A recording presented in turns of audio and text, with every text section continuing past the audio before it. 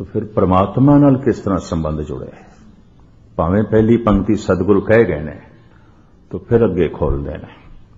ਫੇਰ ਕੇ ਅੱਗੇ ਰੱਖੀਏ, ਜਿਤ ਦੇਸੇ ਦਰਬਾਰ, ਫਿਰ ਕੀ ਰੱਖੀਏ ਪ੍ਰਮਾਤਮਾ ਦੇ ਅੱਗੋਂ? ਕਿ ਦਰਬਾਰ ਦੀ ਝਲਕ ਪੈ ਜਾਏ, ਪ੍ਰਮਾਤਮਾ ਦੀ ਝਲਕ ਪੈ ਜਾਏ, ਪ੍ਰਮਾਤਮਾ ਨਾਲ ਹੀ ਸੰਬੰਧ ਜੁੜੇ, ਦਾਤੇ ਨਾਲ ਹੀ ਸੰਬੰਧ ਜੁੜੇ। ਫਿਰ ਕੀ ਰੱਖੀਏ ਉਸ ਦੇ ਅੱਗੋਂ? ਕਾਮਨਾ ਨਾ ਰੱਖੀਏ ਤਾਂ ਫਿਰ ਕੀ ਰੱਖੀਏ? ਮੈਂ ਫਿਰ ਅਰਜ਼ ਕਰਾਂ 99 ਫਜ਼ੀਦੀ ਲੋਕ ਤੇ ਆਪਣੀ ਕਾਮਨਾ ਰੱਖਦੇ ਨੇ ਰੋਜ਼, ਅਰਦਾਸ ਤੇ ਰਾਹੀਂ ਖੁਦ ਅਰਦਾਸ ਕਰਕੇ ਜਾਂ ਅਰਦਾਸ ਕਰਾ ਕੇ। ਕਦੀ ਕਦਾਈ ਕੋਈ ਵਿਚਾਰਾ ਐਸਾ ਹੁੰਦਾ ਕਈ ਦਫਾ ਗ੍ਰੰਥੀ ਸਿੰਘ ਅਰਦਾਸ ਭੁੱਲ ਜਾਂਦਾ ਕਿਸੇ ਕਾਰਨ ਕਰਕੇ ਭੁੱਲ ਗਿਆ ਹੋਵੇ ਨਾਮ, ਮੈਂ ਤੇ ਦੁਖੇ ਲੋਕੀ ਦੁਆਲੇ ਪੈ ਜਾਣ ਸਾਡਾ ਨਾਮ ਭੁੱਲ ਗਏ। ਮੁੱਦਤਾਂ ਹੋ ਗਈਆਂ ਨੇ ਪੜਦਿਆਂ ਘਟ ਘਟ ਕੇ ਅੰਤਰ ਕੀ ਜਾਣਤ, ਭਲੇ ਬੁਰੇ ਕੀ ਪੀਰ ਪਛਾਨ ਭਰੋਸਾ ਅਜੇ ਵੀ ਕੋਈ ਨਹੀਂ ਆਇਆ। ਯਕੀਨ ਅਜੇ ਵੀ ਨਹੀਂ ਬਜੇ ਪਰ ਉਹਨਾਂ ਦੀ ਵੀ ਆਪਣੀ ਮਜਬੂਰੀ, ਕਿਉਂਕਿ ਕਾਮਨਾ ਦਾ ਸੰਬੰਧ ਹੈ, ਗੁਰੂ ਨਾਲ ਹੋਰ ਤੇ ਕੁਝ ਗੱਲ ਨਹੀਂ।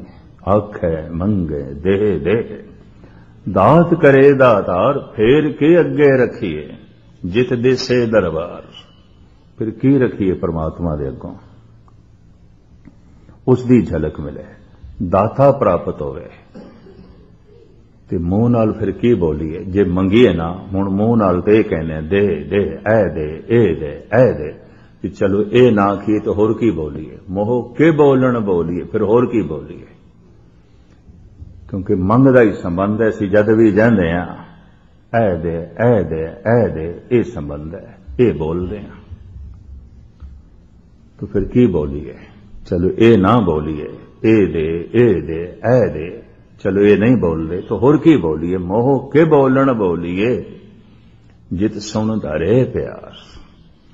ਜਿਹਨੂੰ ਸੁਣ ਕੇ ਉਹ ਪਿਆਰ ਪਾਵੇ। ਜਿਸ ਨੂੰ ਸੁਣ ਕੇ ਉਸ ਨਾਲ ਰਿਸ਼ਤਾ ਜੁੜ ਜਾਏ। ਔਰ ਜਿਸ ਨੂੰ ਵਾਕਈ ਉਹ ਸੁਣਦਾ ਹੈ। ਔਰ ਸੰਬੰਧ ਜੋੜ ਦਿੰਦਾ ਹੈ। ਤਾਂ ਫਿਰ ਕੀ ਹੈ?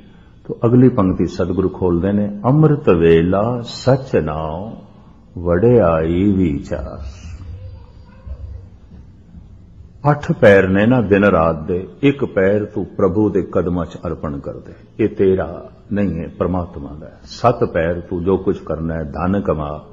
ਪਰਿਵਾਰ ਨਾਲ ਸੰਬੰਧ ਜੋੜ, ਸੰਸਾਰ ਨਾਲ ਸੰਬੰਧ ਜੋੜ, ਧਨ ਸੰਪਦਾ ਨਾਲ ਸੰਬੰਧ ਜੋੜ। ਖਾ ਲੈ, ਪੀ ਲੈ, ਇਸ਼ਨਾਨ ਕਰ, ਸੌ। ਆਰਾਮ ਕਰ ਕੁਝ ਵੀ ਕਰ।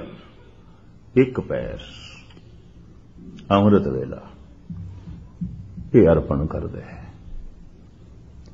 ਕਿ ਜੇ ਇਹ ਅਰਪਣ ਨਹੀਂ ਕੀਤਾ, ਇਹ ਵੀ ਤੂੰ ਆਪਣੇ ਕੰਮ ਵਿੱਚ ਵਰਤ ਲਿਆ ਤਾਂ ਫਿਰ ਇੰਜ ਸਮਝ ਲਓ ਅਮਾਨਤ ਦੇ ਚ ਤੂੰ ਖਿਆਨਤ ਕੀਤੀ ਹੈ।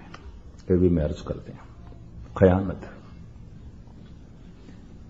ਉਸ ਸਮੇਂ 'ਚ ਵੀ ਤੂੰ ਧਨ ਕਮਾਇਆ ਉਸ ਸਮੇਂ ਦੇ ਵਿੱਚ ਵੀ ਤੂੰ ਸੁੱਤਾ ਰਿਹਾ ਉਸ ਸਮੇਂ ਦੇ ਵਿੱਚ ਵੀ ਤੂੰ ਸੰਸਾਰ ਨਾਲ ਜੁੜਿਆ ਰਿਹਾ ਨਹੀਂ ਉਹ ਸਮਾਂ ਅਰਪਣ ਕਰਦੇ ਗੁਰੂ ਨੂੰ ਔਰ ਉਸ ਵਕਤ ਜੋ ਪ੍ਰਮਾਤਮਾ ਦੀਆਂ ਵਡਿਆਈਆਂ ਨੇ ਉਹਨੂੰ ਆਪਣੀ ਸੋਚ ਦੇ ਚ ਲਿਆ ਆਪਣੇ ਚੇਤੇ ਦੇ ਚ ਲਿਆ ਵਡਿਆਈ ਵਿਚਾਰ ਇੱਕ ਮਿੰਟ ਮੈਂ ਇਸ ਦੇ ਤੇ ਲਵਾਂ ਮਨੁੱਖ ਦੇ ਅੰਦਰ ਜਿਹੜਾ ਬਾਰ-ਬਾਰ ਵਿਚਾਰ ਚੱਲਦਾ ਹੈ ਉਹੀ ਇੱਕ ਦਿਨ ਕਿਰਦਾਰ ਬਣ ਜਾਂਦਾ ਹੈ ਬਗੌਰ ਮਤਾਲਾ ਕਰਨਾ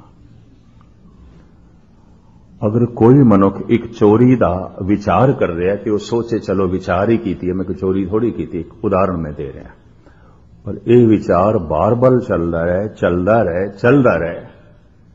ਇੱਕ ਦਿਨ ਚੋਰੀ ਕਰ ਬੈਠੇਗਾ, ਉਹ ਵਿਚਾਰ ਨਹੀਂ ਕਰਾ ਦੇਣੀ। ਉਹ ਵਿਚਾਰ ਇਤਨਾ ਮਜ਼ਬੂਤ ਹੋ ਜਾਏਗਾ, ਉਸ ਦੇ ਕੋਲੇ ਕਰਾ ਲੇਗਾ ਇਸ ਵਾਸਤੇ ਸਾਹਿਬ ਕਹਿੰਦੇ ਨੇ, ਅੱਠ ਪੈਰਾਂ ਦੇ ਚੋਂ ਉਹ ਇੱਕ ਪੈਰ ਅੰਮ੍ਰਿਤ ਵੇਲਾ। ਉਹ ਤੂੰ ਗੁਰੂ ਨੂੰ ਅਰਪਣ ਕਰ, ਉਹ ਤੇਰਾ ਨਹੀਂ ਹੈ। ਔਰ ਇਸ ਵਿਸ਼ੇ ਦੇ ਉੱਤੇ, ਅੰਮ੍ਰਿਤ ਵੇਲੇ ਦੀ ਮਹਾਨਤਾ ਦੇ ਉੱਤੇ, ਭਾਈ ਨੰਦ ਲਾਲ ਨੇ ਬੜੇ ਗੀਤ ਗਾਏ ਨੇ, ਭਾਈ ਗੁਰਦਾਸ ਜੀ ਤੇ ਕਮਾਲ ਕਰਦੇ ਨੇ। ਉਹ ਤੇ ਕਹਿੰਦੇ ਨੇ, ਮੈਂ ਆਪਣੇ ਸਰੀਰ ਨੂੰ ਜਲਾ ਕੇ, ਖਾਕ ਬਣਾ ਕੇ ਉਸ ਦੇ ਕਦਮਾਂ ਤੋਂ ਨਿਛਾਵਰ ਕਰਾਂ, ਜੋ ਅੰਮ੍ਰਿਤ ਵੇਲੇ ਉੱਠਦਾ ਤੇ ਗੁਰੂ ਦੀ ਭਗਤੀ ਕਰਦਾ ਹੈ। ਪ੍ਰਮਾਤਮਾ ਦਾ ਨਾਮ ਜਪਦਾ ਮੈਂ ਉਹਦੇ ਰਸਤੇ 'ਚ ਵਿਛਾ ਦਿਆਂ। ਇਰਾਨੀ ਸੂਫੀ ਸੰਤ ਸ਼ੇਖ ਸਾਦੀ ਕਹਿੰਦੇ, ਦੁਆ ਕੁਨ ਬਸ਼ਬ ਚੋਂ ਗਦਾਇਆ ਸੋਜ਼, ਅਗਰ ਮੇ ਕੋ ਨਹੀਂ ਬਾਦਸ਼ਾਹੀ ਬਰੋਜ਼। ਇਹ ਫਕੀਰ ਕਹਿੰਦਾ, ਜੇ ਤੂੰ ਦਿਨ ਦੇ ਸਮੇਂ ਬਾਦਸ਼ਾਹਾਂ ਦੀ ਤਰ੍ਹਾਂ ਜੀਵਣਾ ਚਾਹਨਾ ਹੈ, ਤਾਂ ਰਾਤ ਦੇ ਚੌਥੇ ਪੈਰ ਖੁਦਾ ਦੇ ਅਗੋਂ ਮੰਗਤਾ ਬਣ ਜਾ, ਭਿਖਾਰੀ ਬਣ ਜਾ। ਤਾਂ ਹੀ ਤਵਾਜ਼ਨ ਪੂਰਾ ਹੋਵੇਗਾ, ਤਾਂ ਹੀ ਸੰਤੁਲਨ ਕਾਇਮ ਹੋਵੇਗਾ। ਅੰਮ੍ਰਿਤ ਵੇਲਾ, ਸੱਚ ਨਾਮ ਵਡਿਆਈ ਵਿਚਾਰ। ਚਲੋ, ਇਹ ਨਾ ਕਰੀਏ, ਐਸਾ ਨਾ ਹੋ ਸਕੇ। ਅੰਮ੍ਰਿਤ ਵੇਲਾ ਭੇਟ ਨਾ ਕਰ ਸਕੀਏ। ਤੇ ਉਸ ਵੱਡੇ ਦੀਆਂ ਵਡਿਆਈਆਂ ਦੀ ਵਿਚਾਰ ਵੀ ਨਾ ਕਰ ਸਕੀਏ, ਕਿਉਂਕਿ ਜਿਹੜੀ ਵਿਚਾਰ ਕਰੀਏ, ਇਹੀ ਵਿਚਾਰ ਅਗਾਹ ਚੱਲ ਕੇ ਪਿਆਰ ਬਣ ਜਾਂਦੀ ਹੈ ਇਹ ਵੀ ਮਰਜ਼ ਕਰਦੇ ਆ ਉਹੀ ਜੀਵਨ ਦਾ ਆਧਾਰ ਬਣ ਜਾਂਦੀ ਹੈ ਉਹੀ ਕਿਰਦਾਰ ਦੇ ਪ੍ਰਗਟ ਹੋਣ ਲੱਗ ਪੈਂਦਾ ਕ੍ਰਿਤ ਦੇ ਪ੍ਰਗਟ ਹੋਣ ਲੱਗ ਪੈਂਦਾ ਤੋ ਪ੍ਰਮਾਤਮਾ ਦੇ ਵਡਿਆਈਆਂ ਦੀ ਕੋਈ ਵਿਚਾਰ ਵੀ ਨਹੀਂ। ਇਸ ਵਾਸਤੇ ਵਡਿਆਈਆਂ ਨਾਲ ਕੋਈ ਪਿਆਰ ਵੀ ਨਹੀਂ ਪੈਦਾ ਹੋਇਆ। ਉਸ ਦੀ ਮਹਿਮਾ ਨਾਲ ਕੋਈ ਪਿਆਰ ਵੀ ਨਹੀਂ ਪੈਦਾ ਹੋਇਆ, ਕਿਉਂਕਿ ਵਿਚਾਰ ਕੋਈ ਨਹੀਂ। ਤੇ ਅੰਮ੍ਰਿਤ ਵੇਲਾ ਵੀ ਨਹੀਂ। ਲੇਕਿਨ ਇਹ ਚੱਲਦਾ ਪਿਆ ਕਿ ਆਖੇ ਮੰਗੇ ਦੇਹ ਦੇ। ਤੋਂ ਮਹਾਰਾਜ ਕਹਿੰਦੇ ਨੇ, ਇਸ ਤਰ੍ਹਾਂ ਦੇ ਕਰਮਾਂ ਨਾਲ, ਜਿਨ੍ਹਾਂ ਨਾਲ ਕਾਮਨਾ ਜੁੜੀ ਹੋਈ ਹੈ ਕਰਮੀ ਆਵੇ, ਕਪੜਾ ਹੈ, ਫਿਰ ਜਨਮ ਹੋਵੇਗਾ।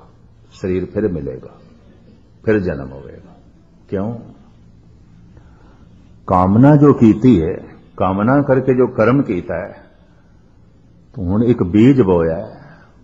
ਫਲ ਤੱਕ ਪਹੁੰਚਣ ਵਾਸਤੇ ਤੇ ਭਵਿਸ਼ ਚਾਹੀਦਾ ਨਾ ਕੁਝ ਤੇ ਸਮਾਂ ਚਾਹੀਦਾ ਤੇ ਕਾਮਨਾ ਰੋਜ਼-ਰੋਜ਼ ਚੱਲਦੀ ਰਹੇ, ਤੇ ਕਾਮਨਾ ਅਧੀਨ ਮਨੋ ਕਰਮ ਰੋਜ਼ ਕਰਦਾ ਰਹੇ, ਤੋ ਕਾਮਨਾ ਭਵਿਸ਼ ਦੇ ਚ ਪੂਰੀ ਹੋਵੇਗੀ। ਹੁਣੇ ਨਹੀਂ ਹੋਣ ਲੱਗੀ। ਇਹ ਮੈਂ ਅਰਜ਼ ਕਰਦੇ ਮੈਂ ਬੀਜ ਹੁਣ ਬੋਇਆ ਮੈਂ ਬੂਟਾ ਹੁਣ ਅੰਬ ਦਾ ਲਾਇਆ ਚਲੋ ਮੈਂ ਸਵੇਰੇ ਲਾਇਆ ਤੇ ਹੁਣ ਸ਼ਾਮੀ ਆਖਾਂ ਮੈਨੂੰ ਅੰਬ ਚਾਹੀਦੇ ਨੇ।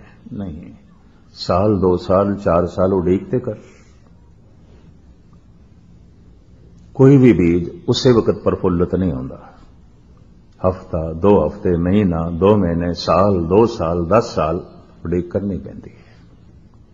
ਇਸ ਤਰ੍ਹਾਂ ਹੀ ਕਰਮ ਨੇ, ਜੋ ਕਾਮਨਾ ਅਧੀਨ ਕੀਤੇ ਜਾਂਦੇ ਨੇ, ਤਾਂ ਫਿਰ ਭਵਿਸ਼ ਵਿੱਚ, ਤਾਂ ਇਸ ਤਰ੍ਹਾਂ ਅਗਰ ਭਵਿਸ਼ ਅਗਾਹ ਚੱਲਦਾ ਰਿਹਾ तो वह भविष्य अगला जन्म करा देंदा क्योंकि एक दिन मौत आ जाती है तो भविष्य के मनुख का बनया जो उसने कामनावां कीतियां सन वो अगे चलियां गईयां दस साल बाद पूरियां होनियां सन जिंदगी रही नहीं ये कामनावां फिर जन्म करानियां फिर कपड़ा मिलेगा फिर झोली मिलेगी ये कर्मां का फल कौन भोगेगा तो फिर कपड़ा तो चाहिए जिस झोली तो चाहिए जिस दे छपाना है तो कर्मी आवे कपड़ा उन्हां कर्मां करके शरीर का चोला फिर मिलेगा ਫਿਰ ਇਹ ਕਪੜਾ ਮਿਲੇਗਾ। ਇਹਨੂੰ ਫਿਰ ਆਣਾ ਪਏਗਾ। ਇਸ ਵਾਸਤੇ ਕਹਿੰਦੇ ਨੇ, ਕਾਮਨਾ ਮਿਟ ਗਈ ਤਾਂ ਭਵਿਸ਼ ਮਿਟ ਗਿਆ। ਤੇ ਕਾਮਨਾ ਆਖਿਰ ਕਿਸੇ ਫਲ ਦੀ ਇੱਛਾ ਨੂੰ ਰੱਖ ਕੇ ਕੀਤੀ ਜਾਂਦੀ ਹੈ ਤੇ ਫਲ ਭਵਿਸ਼ ਦੇ ਚ ਹੈ।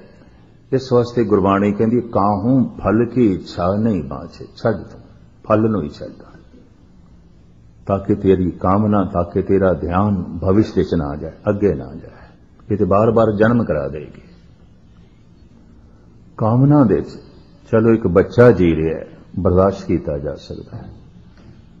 ਚਲੋ ਇੱਕ ਜਵਾਨ ਵੀ ਜੀ ਰਿਹਾ ਹੈ ਨਾ ਕਾਬਲੇ ਮੁਆਫ ਤੇ ਨਹੀਂ, ਲੇਕਿਨ ਫਿਰ ਵੀ ਨਜ਼ਰ ਅੰਦਾਜ਼ ਕੀਤਾ ਜਾ ਸਕਦਾ ਹੈ। ਔਰ ਇੱਕ ਬੁੱਢਾ ਵੀ ਸੰਸਾਰਿਕ ਕਾਮਨਾ ਦੇ ਜੀ ਰਿਹਾ ਹੈ, ਅਜੇ ਵੀ ਕਾਮਨਾਵਾਂ ਇਹ ਕਾਬਲੇ ਮਾਫ ਨਹੀਂ ਹੈ।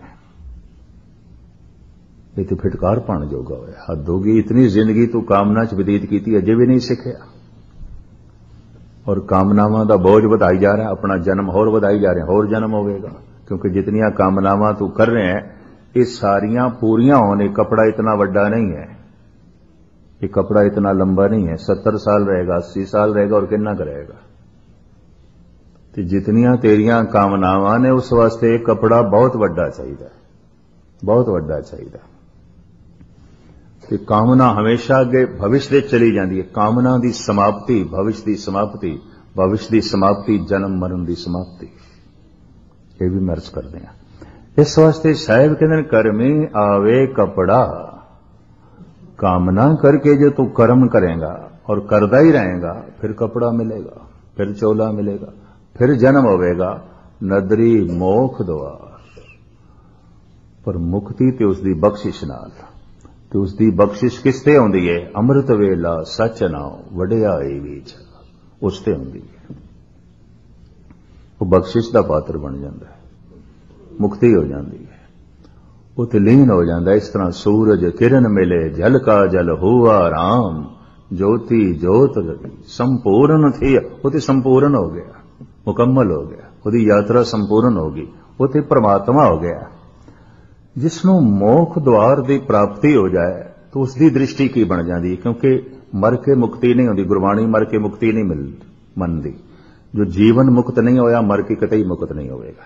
ਜਿਹੜੀ ਚੀਜ਼ ਜੀਵਦਿਆਂ ਜੀ ਨਹੀਂ ਲੱਭੀ, ਮਰ ਕੇ ਕਿਸ ਤਰ੍ਹਾਂ ਲੱਭੇਗੀ? ਇਹ ਵੀ ਮੈਂ ਅਰਜ਼ ਕਰਦੇ ਹਾਂ।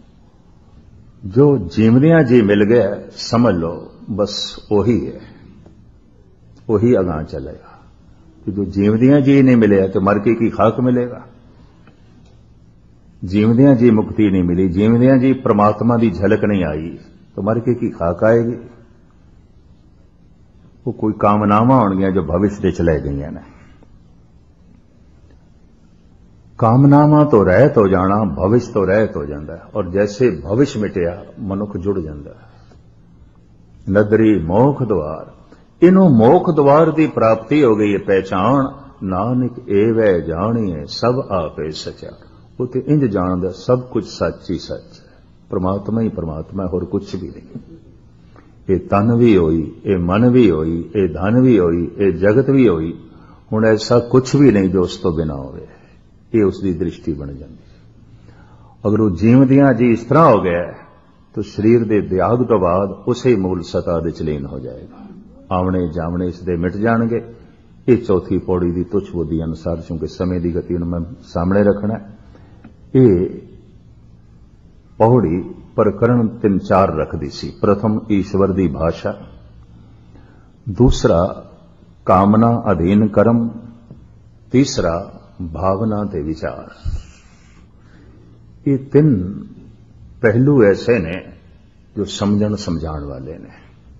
ਚਲੋ इतना ही समा से और इतनी समर्था सी थोड़े सामने जो है विचार रखिए पंजवीं पौड़ी कल आप जी सामने रखांगे थापया ना जाए कीता ना होए आपे आप निरंजन सोए जिस ढंग नाल गुरु नानक देव जी कहणगे क्योंकि सारी जड़ी जपजी साहब है अगर समझे च आ गई तो मैं समझदा सारे दुनिया के धर्म ग्रंथ समझते च आ गए सब कुछ समझते च आ गए सब कुछ का पता चल गया ਈਸ਼ਵਰ ਦਾ ਤਤ ਸਾਰ ਨਿਚੋੜ ਧੰਨ ਗੁਰੂ ਨਾਨਕ ਦੇਵ ਜੀ ਮਹਾਰਾਜ ਨੇ ਇਸ ਬਾਣੀ ਵਿੱਚ ਵਰਣਨ ਕਰ ਦਿੱਤਾ ਹੈ, ਬਿਆਨ ਕਰ ਦਿੱਤਾ ਹੈ। ਔਰ ਸਹਜੇ ਸਹਜੇ ਮਨੁੱਖ ਦੀ ਸੁਰਤ ਨੂੰ ਉੱਥੇ ਪਹੁੰਚਾਇਆ ਕਿੱਥੇ ਸੱਚ ਖੰਡ ਵਸੇ ਨਿਰੰਕਾਰ, ਉੱਥੇ ਲੈ ਗਏ ਨੇ। ਤੋਂ ਪੰਜਵੀਂ ਪੌੜੀ ਦੀ ਵਿਚਾਰ ਕੱਲ ਆਪ ਜੀ ਦੇ ਸਾਹਮਣੇ ਤੇ ਸਮਾਪਤੀ ਕਰਾਂਗੇ।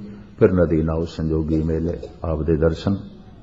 ਇਤਨੀ ਸੇਵਾ ਇਸ ਵਕਤ ਪ੍ਰਵਾਨ ਕਰਨੀ, ਬਾਰ-ਬਾਰ ਸਾਰਿਆਂ ਦਾ ਧੰਨਵਾਦ। ਬੋਲ ਚੁਗਦੀ ਸ਼ਾਵਾ ਵਾਹਿਗੁਰੂ ਜੀ ਕਾ ਖਾਲਸਾ ਵਾਹਿਗੁਰੂ ਜੀ ਕੀ ਫਤਿਹ।